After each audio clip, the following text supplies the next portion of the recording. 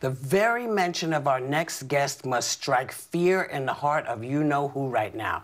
Because after shutting down his foundation and filing nearly 70 lawsuits against his administration, she now has an active investigation into his business dealings that could severely impact him and his family when he leaves the White House. Please welcome New York Attorney General Letitia James. Letitia, welcome to the show. Welcome to The View. Thank you. Good morning. Um, and thank you for having me.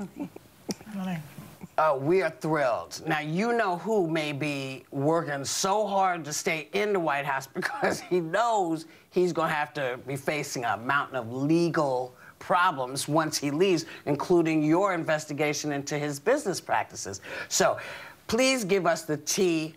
Tell us everything you could tell us within, you know, legal boundaries, because you can't tell us everything. But is this is this a lot of work, you think, for you? So let me just say that um, I'm an independently elected official in New York, um, and the investigation that we are ongoing is as a result of the testimony of um, Michael Cohen uh, before Congress. Mm. And in that, Michael Cohen testified that, in fact, uh, the financial statements of the Trump organization uh, include uh, information uh, that, uh, the, that the president, as well as um, some of his children, perhaps inflated his assets uh, so that they can get financial terms for loans and for, and for insurance coverage. In addition to that, they deflated those same assets for the purposes of evading and or avoiding tax liability. Our investigation is ongoing. Mm -hmm. It is a civil investigation in nature. However, um, there is a criminal investigation that's currently being conducted by the Manhattan District Attorney Cy Vance, and there is also a, another civil investigation that is currently being conducted by my colleague and friend from the District Attorney, Attorney General Karl Racine. Our information, um, uh, we have we're in the midst of taking testimony. Um, and as you know, as has been publicly reported, uh, we sought the testimony of Eric Trump. Um, and we filed and served subpoenas upon him. Um, and as you know, um, during the campaign season, um, unfortunately, he failed to comply with our subpoenas, and we had to file a motion to compel his testimony. Um, and he objected. Wow. Uh, we uh, went into court. We were successful because right. our powers in the Office of Attorney General are broad. Um, and he came in to testify. Uh, and we are, and the fact that um, uh, the president is, the, that Mr. Trump is the president of the United States um, has really has no bearing on our investigation. And in fact, the election right. really has no bearing on our investigation. We will continue our investigation whether he's president or not.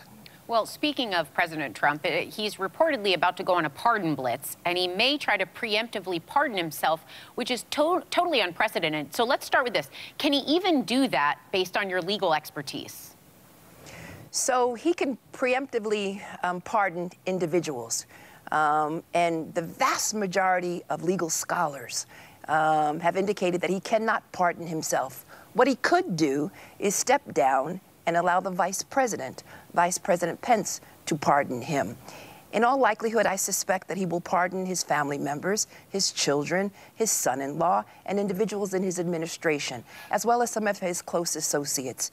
And then I suspect at some point in time, he will step down and allow the vice president to pardon him. Now, it's important to understand he is pardoned from federal crimes, but he is not pardoned from state crimes. Last year, I introduced a bill in the state legislature which would close the pardon loophole so that individuals such as the President of the United States would not evade justice. It's important that we have this check on presidential powers. And in the legislature, the state legislature, I'm so happy they passed that bill, and it is now the law in the state of New York. Um, President Trump cannot avoid justice in the great state of New York. So, so just to reiterate, there's no way a potential pardon for Trump or his three eldest kids would shield them from anything you're investigating. Am I right? That's what you just Correct. said, I believe. Correct. But it's, okay. a, it's important. So, okay, Joy, and then... Joy, yes. yeah. Joy, it's important to understand that my investigation is civil in nature. However, in the event that we uncover any conduct or activities which would mm. suggest criminal activities, then that would change, obviously, um, our investigation. It would change the posture of our investigation. And you also intend to prosecute him after he is out of office, correct? Uh, Joy, again, our investigation currently is civil in nature. it is not criminal. in the event that we uncover Oh. any activity or I'm not aware. conduct, Yeah. if in the event But that we uncover ahead cover with any conduct, or- suits? Oh yes, But will you go ahead with our- the civil suits? Oh, James. Yes, our civil suit will continue, um, whether he's president Okay. or not. And so after January 20th at 12 o'clock, our investigation will continue, Joy. Um, Attorney General James, let me ask you this, because President Trump Yes. recently mentioned you by name during a 46-minute Facebook video saying, quote, these same people that failed to get me in Washington have sent every piece of information to New York so that they can try to get me there, end quote. And recently, Ivanka Trump tweeted that your subpoena of the Trump Organization, uh, five, uh, for, for records, I believe, related to her consulting fees was harassment, pure and simple. How do you respond to these latest comments uh, from the Trumps, especially that comment from Ivanka? So, in regards to her comments, uh, um, the politics stop at the door of the Office of Attorney General. I have a wonderful team of attorneys that cover the entire state of New York. And our number one mission is to focus on justice and to follow the facts and the law of each and every case without fear and or favor. And with respect to uh, the rant of the President of the United States.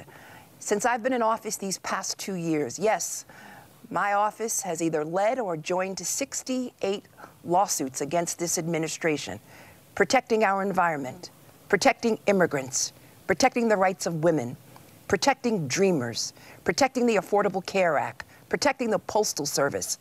And the list goes on and on, protecting the census, standing up and making sure that we have an accurate and fair count so that all individuals will be counted, regardless, uh, regardless of their circumstance. And it's important that individuals understand I have a duty and an obligation to stand up and to defend one thing, and that is the Constitution and the law.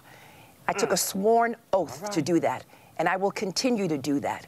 It's important that the President of the United States understand that, that no one is above the law, including the President of these United States. And I would urge him to act more like the late John F. Kennedy, who basically wrote a book which indicated that this is a country of immigrants. Or how about FDR, who basically stood up and rescued our country at a time of financial ruin during the Great Depression? What we need from this president is an FDR moment, but I doubt we will get it. And so I look forward to working with the next administration, an, in, an administration which I'm confident will follow the law. And I look forward again uh, to sending to them, along with my colleagues across the nation, attorney generals who have stood up and defended democracy each and every time. And in all of our cases, we have won about 80% of those cases. And attorney generals, particularly, I might add, Democratic attorney generals, often don't get the credit. But they should get the credit Yeah. because they have been the sole backbone of, the, of democracy in these United States over these past So- four years.